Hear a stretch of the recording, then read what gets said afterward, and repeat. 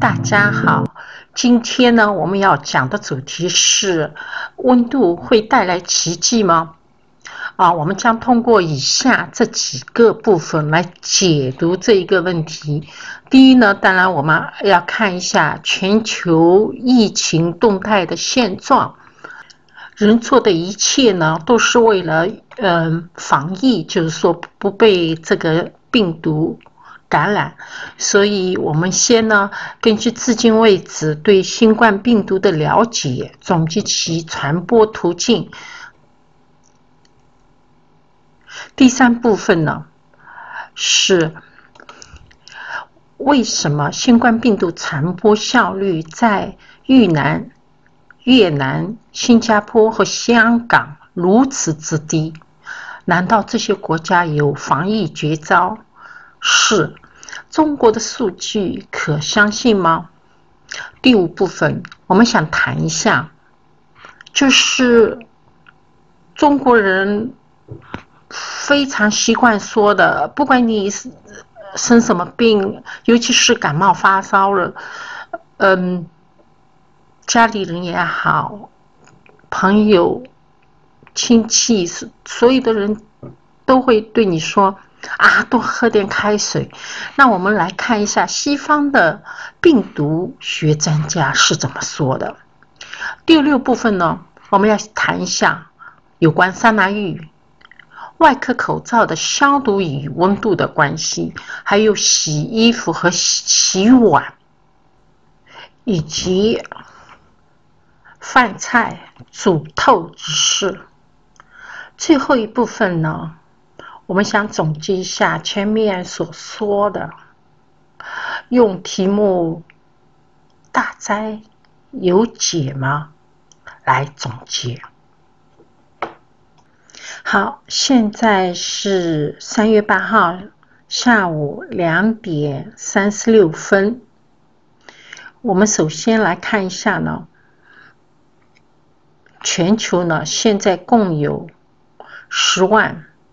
七千三百六十五人感染新冠肺炎，其中呢有三千六百四十六人死亡，啊，六万六百三十七人痊愈，而在这一部分呢，讲的就是啊。国家自从或者地区自从爆发疫情以来，它的每个国家总的感染人数，第一名呢是中国，第二名是韩国，第三名是伊朗，第四名是意大利，第五名是法国，第六名是德国。第七名呢是钻石公主游轮号，下面呢就是西班牙，啊，第九名呢是日本，第十名呢是美国，但是如果除掉呃钻石公主号游轮的话，美国就是第九名。律师呢是第十名，然后英国是第十一名。好，今天要谈的呢，传播途径呢，不是说谈大家已经非常熟悉的空气传播和那个有关接触传播。要谈的呢，一是。广东省中山大学的研究人员认为，病原体的传播速度最快的时候是在啊气温啊八点七二摄氏度，因此较冷的国家呢，在这个时候呢，就相对来讲病毒传播的速度极快。第二方面呢，我们要讲的是世卫组织突发卫生紧急方案负责人。所表示的，就是说，啊，新冠病毒啊，会像流感一样消失，是错误的希望。啊，这又跟那个传播途径有什么关系呢？大家知道，嗯，病新冠病毒啊，它是不可能就是说自自己进行繁殖的，它就是在呃，在它要通过人们的鼻子、口、眼睛这些咽膜组织啊。进入人体，然后呢，引起感染。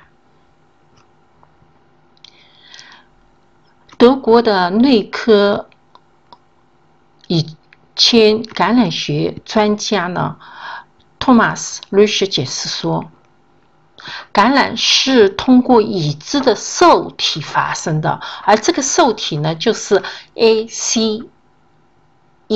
二，这个 ICEI 这个受体呢，就就在我们的细胞上，比如说啊，肺细胞、上呼吸道以及口腔中。另一个问题呢，就是它的新冠病毒啊，与人体的 ACE 二。的亲和力非常高。德克萨斯大学的 Daniel Rapp 领导的研究人员说：“啊，这种新冠病毒似乎比其他类型的冠状病毒啊，更适合人体细胞、人类细胞。它与那个 ACEA 受体啊。”的亲和力啊，比其他相比要高到十至二十倍，这就解释了为什么这种病毒在人与人之间如此的容易传播。你们可能在想，你说了半天，到底想说什么？我想说的就是。它两个传播途径，不管是空气传播也好，接触传播也好，都非常重要。一旦进入了你的人体，你就很容易感染上新冠肺炎。正如嗯，世卫组织所说。如果哪一个国家还认为新冠肺炎不会传到这个国家的话，是致命的。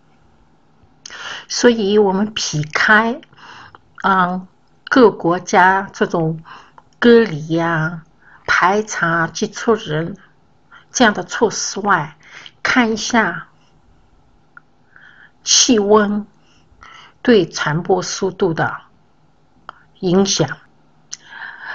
在我做啊第十期新冠病毒的时候，嗯，新加坡和香港属于十大重灾国家和地区，但是后来在几期中，新加坡和香港的名次不断下降，而最后。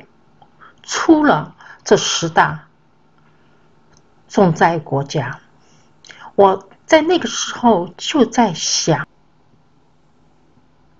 香港和新加坡难道有防疫绝招吗？好，我们今天就用气温来解读一下越南，越南。全年最低气温是十八摄氏度，最高气温是三十三摄氏度。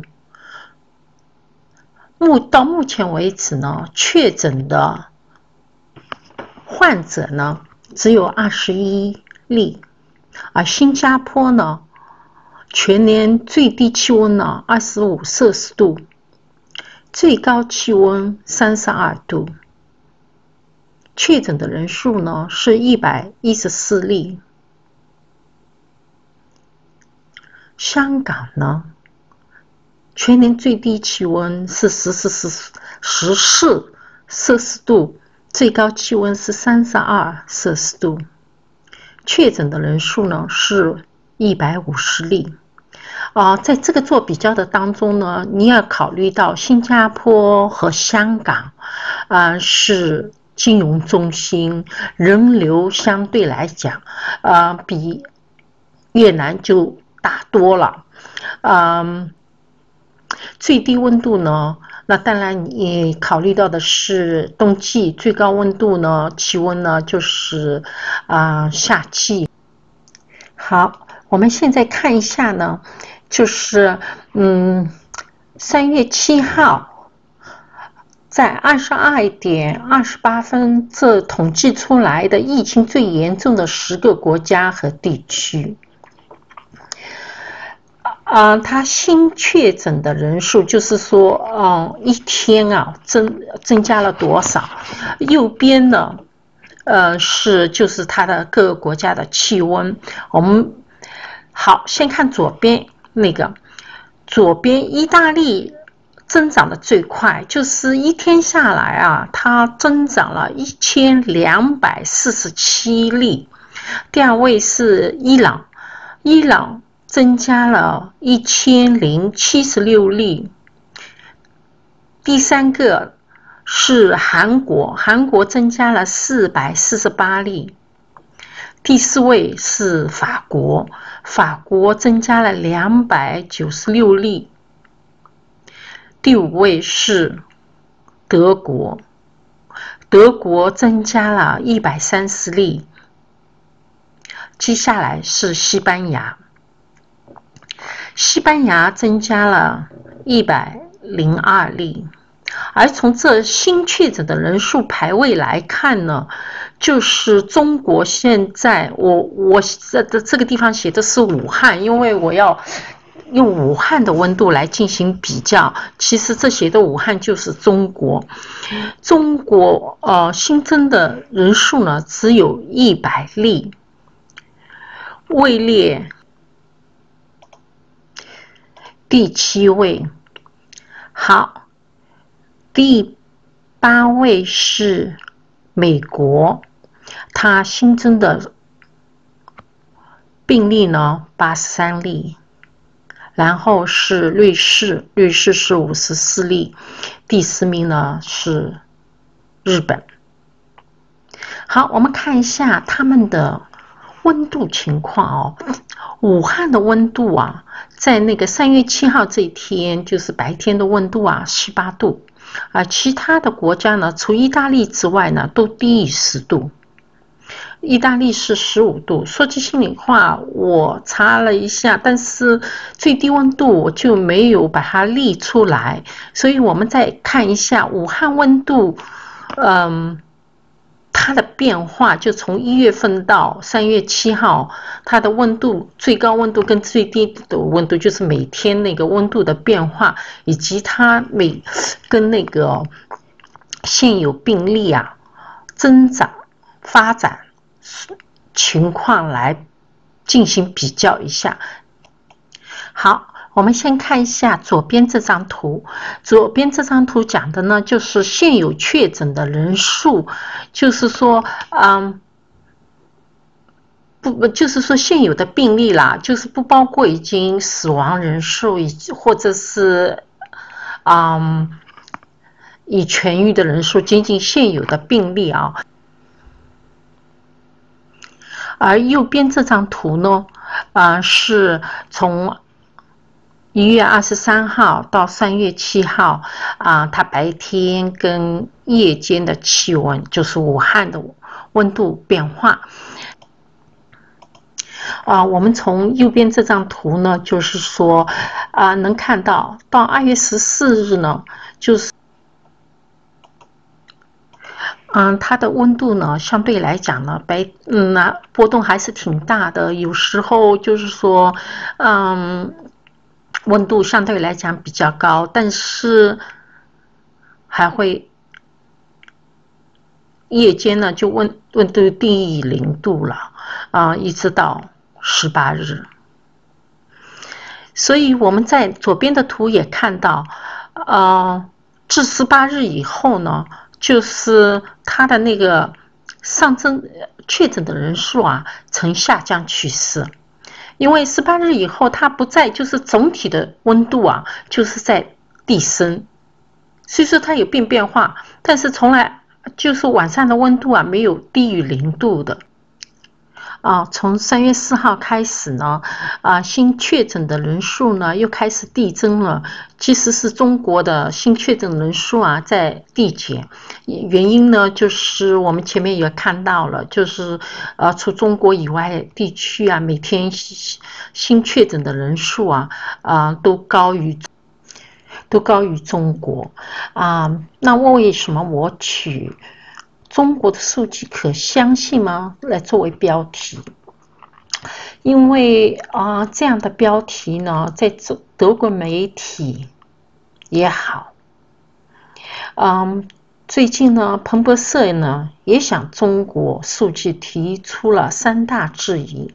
本来呢，我的题目呢就是啊，想做一期中国的数据可相信吗？但后来我想呢。嗯，事实胜于雄辩吧。嗯，自信的人不必整天的为自己辩解，所以我就改了一个题目，就是谈一下温度对防疫的影响。好，下面我们来谈一下叶母组织的防免疫防御能力。嗯。前面我们已经谈到了，就是病毒啊，是通过我们的嘴、啊鼻子、眼睛的咽啊咽膜组织进入我们人体的。啊，我们的老祖宗已经知道，就是说。非常朴素的，如果你生病了，就让你喝开水。为什么呢？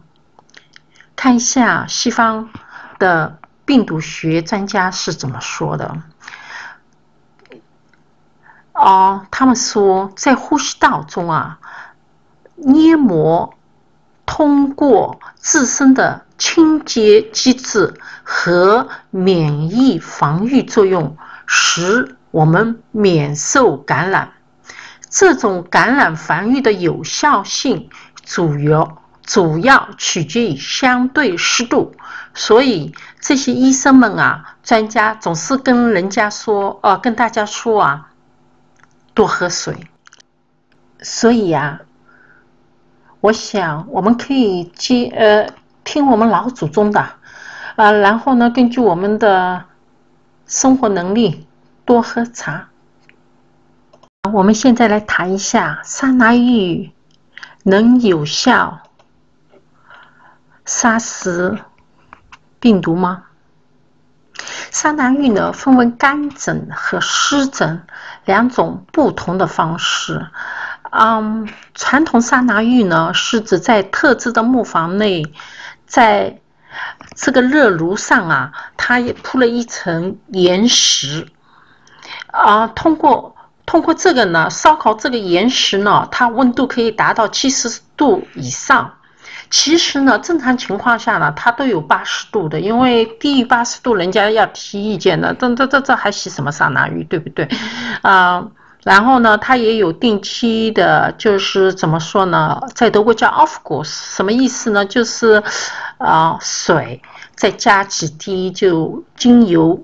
放里面，嗯，浇在这岩石上，就产生了一个冲击性的蒸汽，啊，这样，啊，这一来呢，就一增加了，也就会提高温度，有时候提到九十五度甚至更高，啊，还有呢，通过这里面所放的精油呢，哦，就看人们的需要了，啊，进行放松，比如说现在是比较特殊期。呃，时期吧是嗯，新冠病毒时期，所以大家喜欢加一点精油进行清洁那个呼吸道。好，这就是实际的呃温度，就是桑拿浴的温度在一般八十度啊，正常情况是八十度到九十度之间。那我们看一下，是不是呃已经有人使用桑拿来进行消毒呢？哦，杀死呃病毒呢？嗯，据法新社报道啊。芬兰农业部的专家在二零零五年九月五日表示啊，桑拿浴能有效杀死禽流感病毒，因为这种病毒啊不能在高温下存活，因此呢，嗯，芬兰农业部啊要求。从禽流感疫区旅行回国的人呢，立即对自己和自己的衣服、鞋子、行李进行桑拿消毒。衣服更是需要在七十摄氏度的高温下蒸三个小时。另外呢，农业部还发出了一个通告，要求禽类养殖者也用桑拿浴防止病毒。好，我们再看一下新冠病毒的热敏性是怎样的呢？啊，距今为止啊，我们知道新冠病毒呢，在五十六摄氏度的情况下呢，只要三十分钟呢，啊后呢就被杀灭了。而诺诺病毒呢，存活温度是零下二十度到六十度之间。我们前面已经说了，实际的干桑拿浴温度是在八。八十度以上，嗯，至于桑拿浴是否真的能有效杀死病毒，这仅仅是从那个它的那个温度的情况来谈的。从医学角度上呢，并啊并没有就是说我做过啊具体的测试，所以最后的决定权呢是在你的你自己手里。这张图呢，本来是因为我做了第一期跟第二期嘛，讲了就是怎样选择啊呼吸口罩和外科口罩，以及啊外科口罩呢只适用于啊病者而不是健康的人来用。嗯，但是呢，现在的情况已经变了，就是啊一罩难求吧，所以我也。不再写下去了。为什么？嗯，呼吸口罩就能过滤病菌？但今天呢，我想啊，告诉你呢，外科口罩的消毒方法。本来呢，我在原来写的东西就是说啊，你用完了呢，就是脏了呢，你不可以再用。现在呢，我想啊，也是这个医生说的，反正这外科口罩呢，你不是在那个嗯。